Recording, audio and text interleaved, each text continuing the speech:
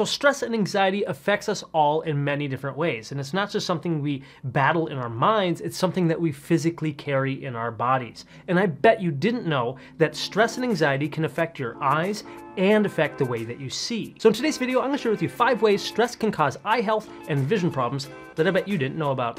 Let's take a look.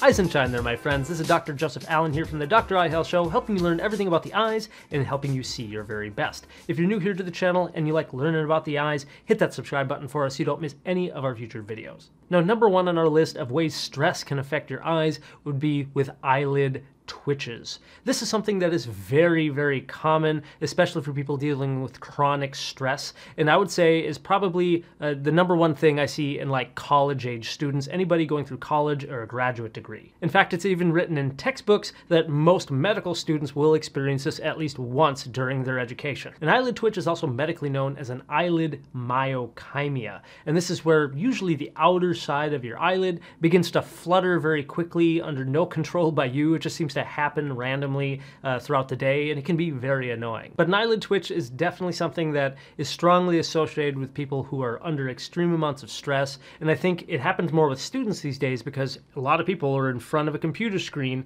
not really blinking very often, just kind of staring it down, and then because they're under so much stress, they're holding their muscles very tight. You know how some people can have really tight shoulders and back muscles when they're under a lot of stress?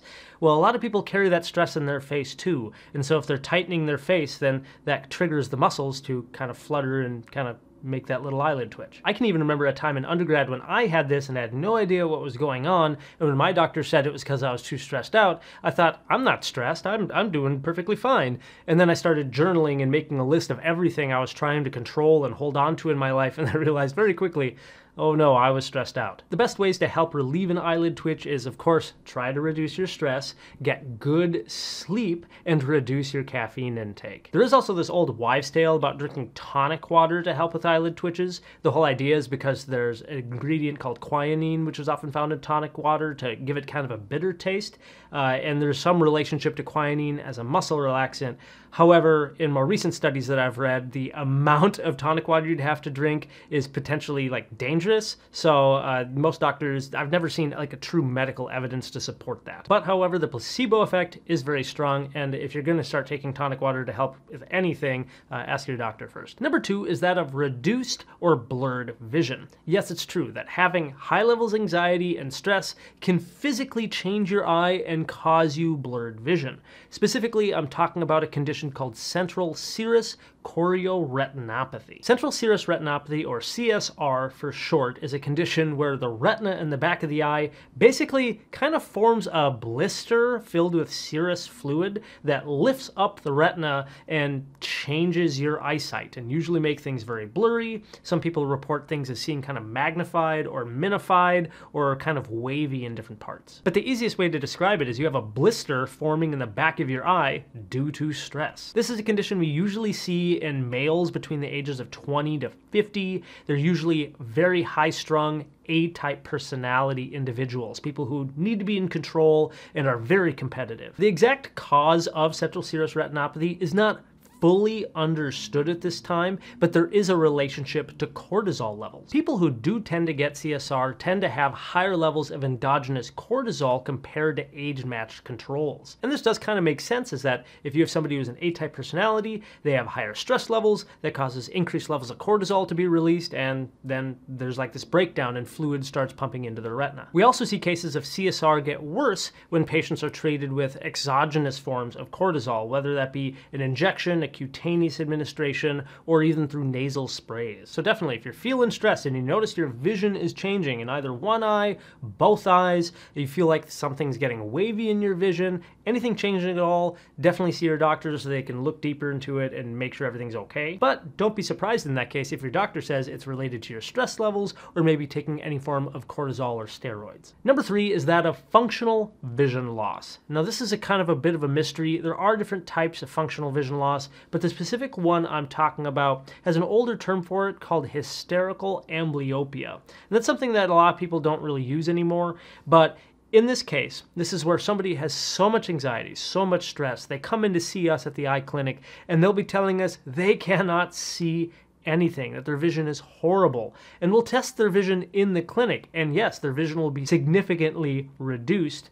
And their vision will be like 2400, uh, maybe worse than that but we can't detect anything wrong with their eye. The eyeball seems perfectly fine, and when we even do a refraction and look inside the eye, uh, we still don't see much need for glasses power at all. But however, in these cases, uh, we already can tell that these individuals are usually very stressed or under high anxiety or they're acting a little strange. And more often than not, we'll do some kind of cool tricks here in the eye clinic. We'll put either a lens in front of their eye, like we're going to show them their glasses prescription, but the lens that we're showing them is in fact zero power. Or sometimes there's no lenses in the machine at all in the phoropter that goes over your eyes. There'll be no lenses in there. It'll just be looking through air. But we'll tell the patient that, okay, these are going to be your glasses and they'll start reading the 2020 line. Again, they just went from seeing like 2400, they are almost legally blind,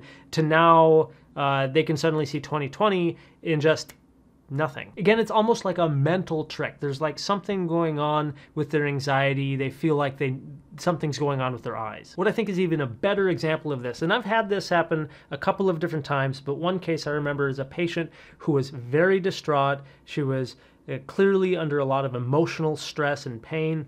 And with my patients, I do like to at least get to know them a little bit on a personal level. And so I said, like, you know, hey, um, it is, you're coming across like something's going on. What, what's going on in life? You know, and I just asked her to tell me more of her story.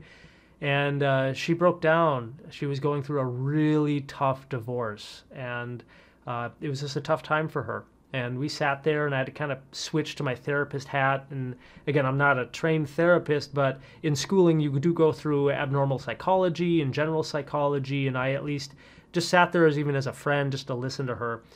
And after her breaking down and crying for like 20, 30 minutes, uh, we finally were able to, she was able to collect herself. She felt a lot better. And then I showed her just you know, okay, let's put your glasses back on. I'm going to have you read the chart one more time. And suddenly she read 2020 and I hadn't changed anything. So again, it just goes to show how powerful our brain is over your eyesight and your visual perception and how much stress and anxiety can affect that. Number four is that high stress may even cause glaucoma. More recent studies published on glaucoma have been looking at our stress levels and how they affect both our blood perfusion or blood flow to the eye along with eye pressure both of which can influence glaucoma development. In fact, in a previous video on this channel, I talked about natural ways to reduce eye pressure, where I went over one of the 2019 studies looking at meditation and its positive effects on lowering stress levels and specifically lowering the eye pressure. And in that study, they were able to reduce the eye pressure by about 20%, which is pretty significant. And then now in a more recent study, they're able to show that by reducing stress levels, they're able to improve the ocular perfusion or improve the blood flow to the eye die. And this could even have further implications for other health issues or diseases down the road. And so while you may not realize it, if you're somebody who deals with chronic stress, you could be in fact causing increased risk for other blindness issues later in your lifetime. And number five is that anxiety can even make your eye and vision symptoms worse. Specifically, I'm thinking more for individuals who suffer from things like eye floaters or dry eye. We know that anxiety and stress can increase your risk for things like depression, but there is this common theme in eye care for a lot of people that have symptoms, especially visual symptoms that are a little bit annoying, kind of like you see floaters floating around in your vision back and forth.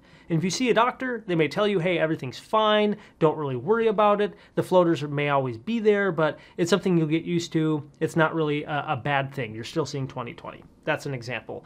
But a lot of people will still suffer from eye floaters uh, or perhaps dry eye, and it becomes kind of a chicken or the egg thing. You kind of question was it the floaters that caused the anxiety, or is it the anxiety that's making the floaters seem worse than they really are? This is, in fact, something I've discussed with some of my retinal specialists about because they're usually the ones who are seeing people who want to have surgery to remove their floaters, and they happen to turn a lot of people away because the floaters really aren't that bad or they don't match up with what the symptoms of the patient has. And it's not to like diminish the symptoms that what the patient's having and experiencing. It's the fact that they're more worried that their anxiety is causing more of the vision problems. And i think there just lies a harsh truth that a lot of us suffer from stress and anxiety chronically and probably most of us don't talk with a therapist or a trained professional in some form. Uh, I know a lot of my friends, they'll say, Oh, you know, I with my family and friends to talk to. I don't need to see a therapist. But it's like, no, uh, a trained professional is going to talk to you and push you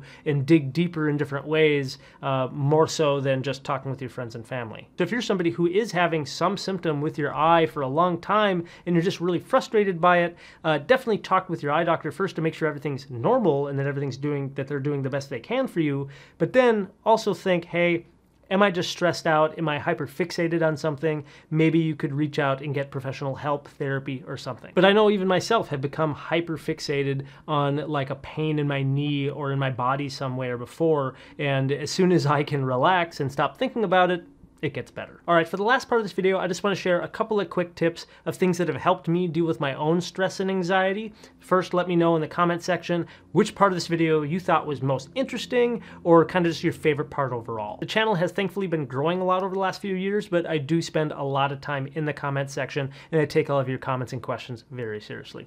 Thank you. My first stress reducing tip is just to take deep, slow breaths. I think this works best, uh, especially when you're in an acute, stressful situation. For me, when I was in my residency, I would have to see a patient with some sort of medical disease or emergency, and I would have to think quickly, and it's a very stressful situation. And I was having problems with that. Even my advisors had told me, hey, take a pause, take a few deep breaths. It's going to help you think better. So that's something you can try. My second tip that kind of goes along with that is taking a break.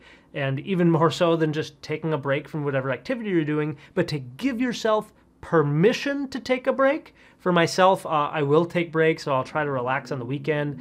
But if I don't give myself mental permission to relax, I can't do it.